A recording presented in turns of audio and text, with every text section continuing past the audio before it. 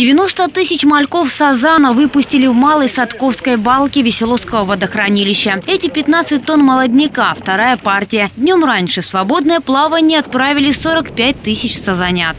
Мальки появились на свет в мае и вот доросли до оптимальной массы для взрослой жизни. Возраст рыбы можно определить по многим факторам – плавникам, глазам и массе. Но измеряется он не человеческими мерками в годах и месяцах, а по-рыбацки.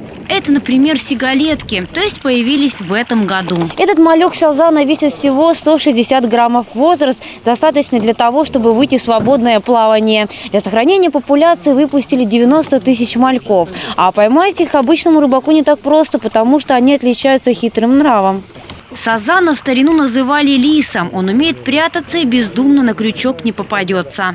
Все эти браконьерские по-любому будут попадаться. А так, ну, он очень осторожный. Программа пополнения биоразнообразия водных ресурсов работает в области уже 10 лет. Особое внимание акватории реки Маныч. Восстанавливать популяции помогает государственно-частное партнерство. Предприятия, готовые за свой счет вырастить и выпустить водоемы рыбу, субсидируют. Через три года такой сазан сможет дать потомство рыба будет размножаться, это касается сазана, сазан будет размножаться, увеличиваться биоразнообразие.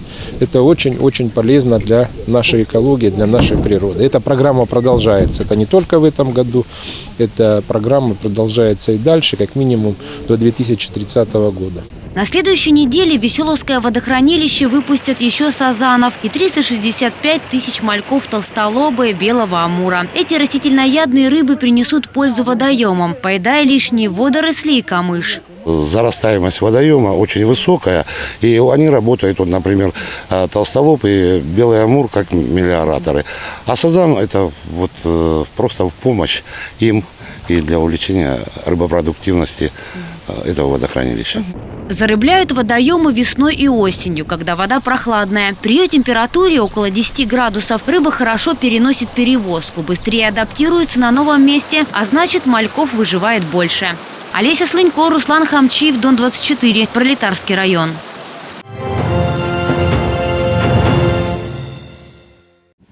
Куда спрятаться бездомному животному в холода, как не в теплый подвал многоэтажки? Но такое убежище может стать для кошки мышеловкой. Многие подвалы на зиму буквально закупоривают, запирая двери и закрывая все щели и продухи. А животные умирают не от мороза, так от голода.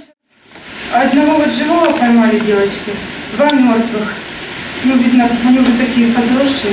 И один живой там сейчас его пытаются поймать. Пока, может, там еще есть, но там так тяжело.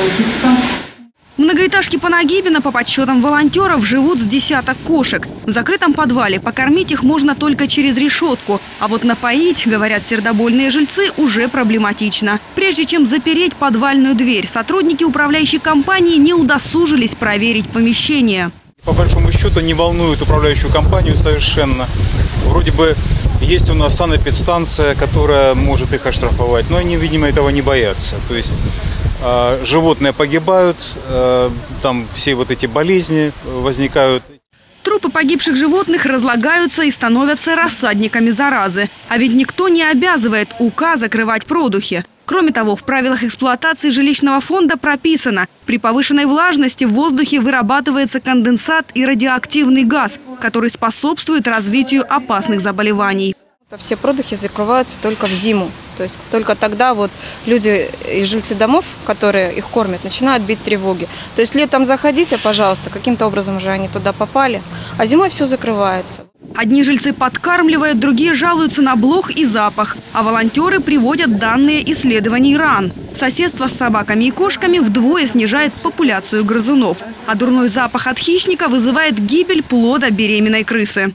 Вот в моем доме, там, где я кормлю животных, люди просто э, говорили, что когда кошек выгнали, туда пришли крысы.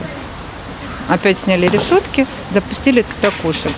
Больше четырех часов искали волонтеры в мокром и душном подвале брошенных животных. Спасти удалось двух больных котят. Видимо, в подвале они и родились. На улице еще не были, людей не знают. Один даже прокусил спасителю руку. Поймать котов в огромном подвале девятиэтажного дома не так-то просто. Животные здесь дичают, волонтеров боятся и в руки не даются. Как минимум четырех кошек волонтеры поймать так и не смогли. А управленцы опять закрыли все продухи металлическими заслонками. И кошки обречены на голодную смерть. Галина Горлова, Анатолий Рашевский, Дон-24, Ростов-на-Дону.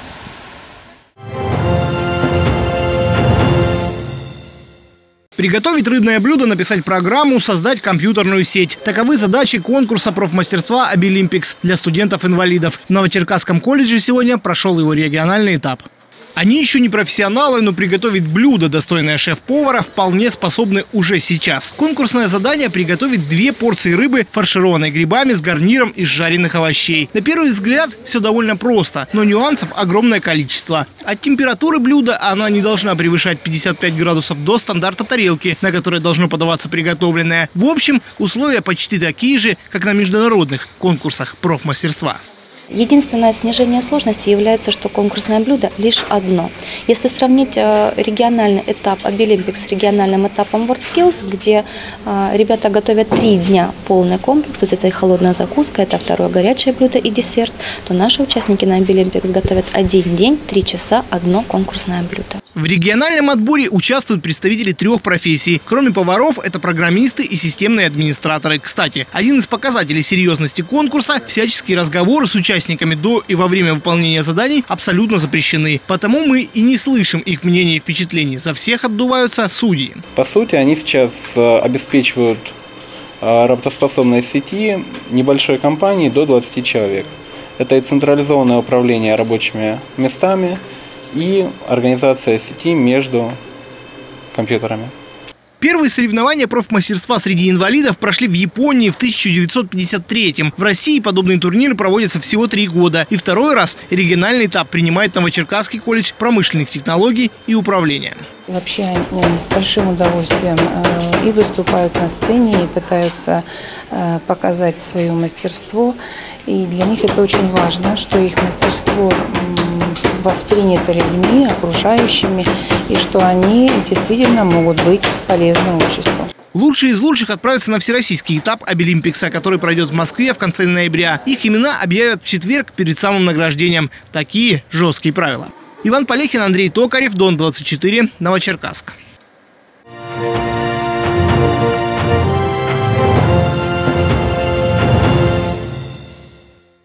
Футбол, волейбол, баскетбол, легкая атлетика в любое время суток и года. Такую возможность дает новая, только что открытая универсальная площадка в шестой школе Пролетарска. Такие мини-стадионы появляются в регионе по соглашению правительства и крупной нефтяной компании.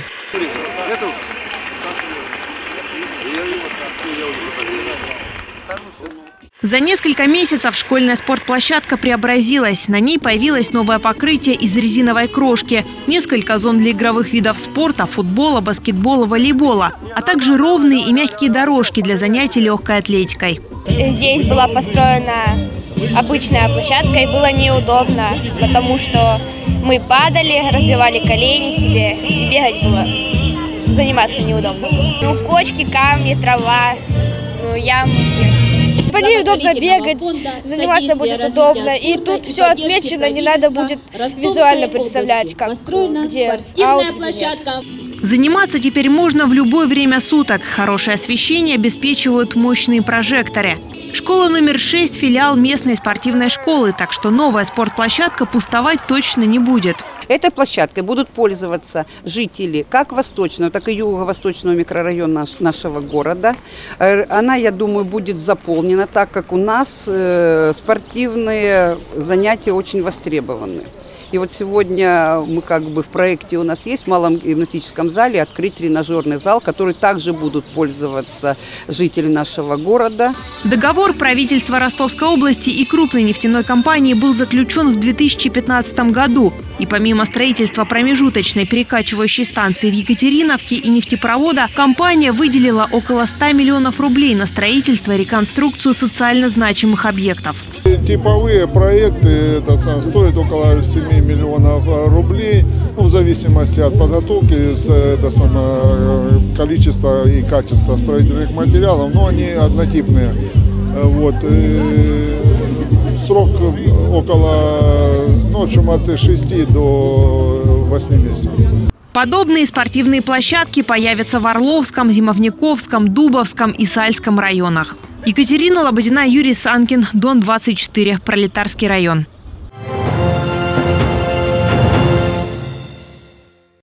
Гол Юлии Манагаровой вошел в топ-5 забитых мячей третьего тура гандбольной лиги чемпионов – матче с лучшим клубом Европы прошлого сезона венгерским Дьором правый крайний Ростов-Дона не стала бросать на силу и мягко перебросила вратаря. Этот гол занял пятое место. Также специалисты оценили мощный выстрел игрока норвежского Ларвика, ворота бывшего вратаря нашего клуба Инны Суслиной. Дальний бросок гонболистки Бухареста и действительно красивую воздушку с подкруткой от игрока немецкого Бетиххайма. Что примечательно, опять же, ворота нашего экс-голкипера Катрин Лунде.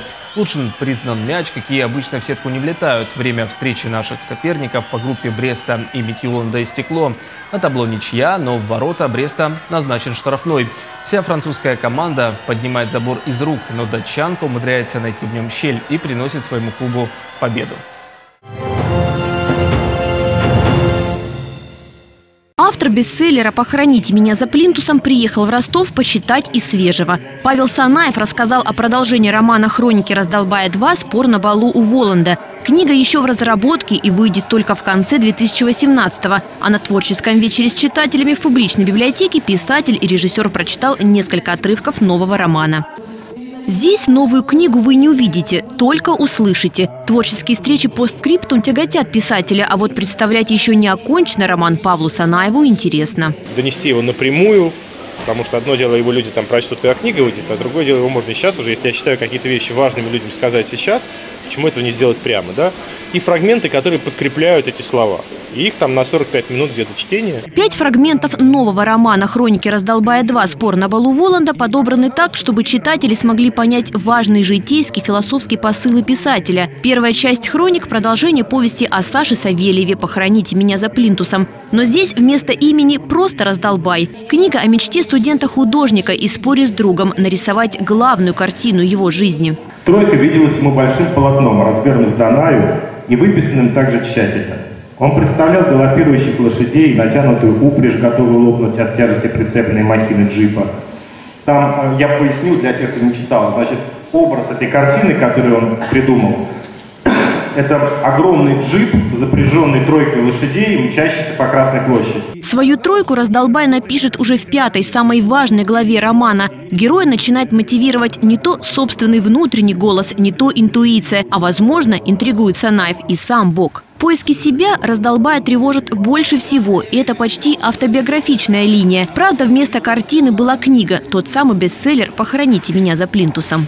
Там, конечно, очень много событий вообще реальных.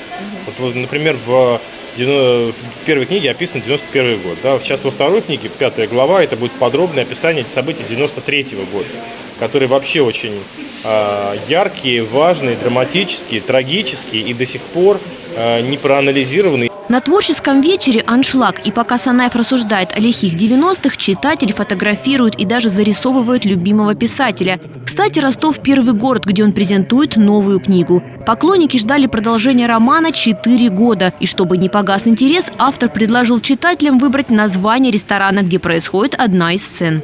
Нужно было такое помпезно в 90-е годы, такое вычурно-пафосное название для ресторана. И вот предложили «Ле Мезон».